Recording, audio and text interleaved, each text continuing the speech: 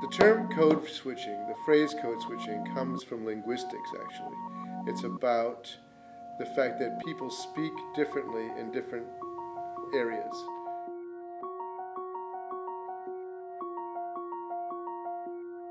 Well, it's become extended to be applied in more broad situations.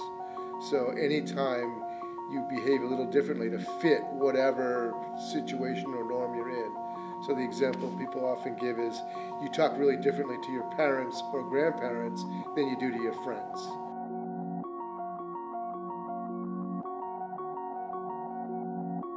When I'm walking around campus with my friends, I can be very loud.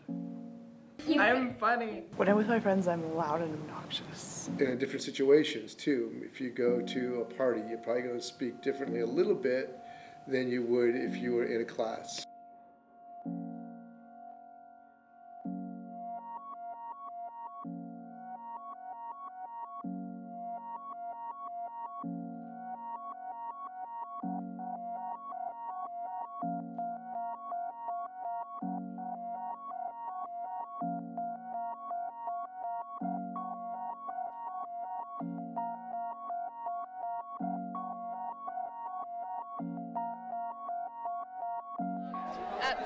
At school, can't randomly leave. At school, you have to like try a lot harder because like because you're like afraid of being judged. People act differently. At school, I can't wear a short sleeve. My quiet classes, I'm really quiet. My loud classes, I am wow. be quiet when the teacher's talking and you have to be friendly and patient with the teacher. When I'm at school, I'm expected to do my work and behave. I have to listen to the teacher, I guess. Uh, no talking out. I still eat in class. I tend to keep quiet and keep to myself unless there's people around to speak with. I don't know. So apparently, I look more serious when I'm at school, and I look mean.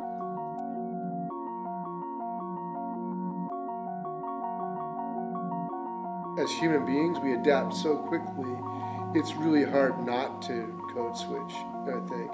So it's about fitting in, it's about being uh, as effective as possible in your, the environment that you're in, right? So everybody wants to be effective.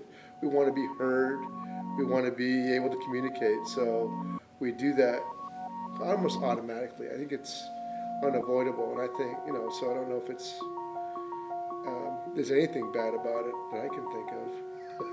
Well, when I'm at work, I'm expected to be really nice to everyone. I work in the customer service job, so I have to, um, even if people are really rude to me, really angry, I have to just calm down and be really nice to everyone. I like I don't swear a bunch in general, but I obviously can't be there saying like bad words and whatnot because I mean that looks bad, and makes my boss look bad. I have to smile and kind of always be positive all the time. I have to always act very polite and understanding to the customers.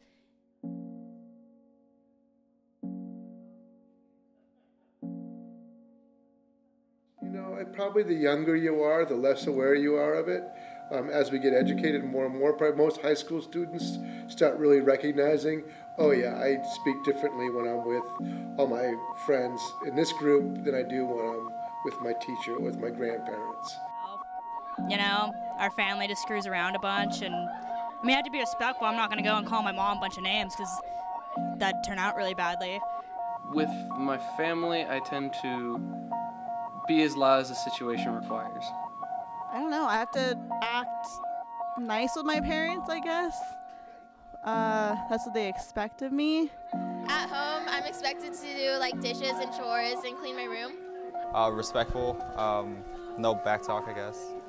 I act really quiet and I'm shy. At home, you can like relax and like be yourself. Well, I don't think we can we can avoid code switching. People just do it automatically.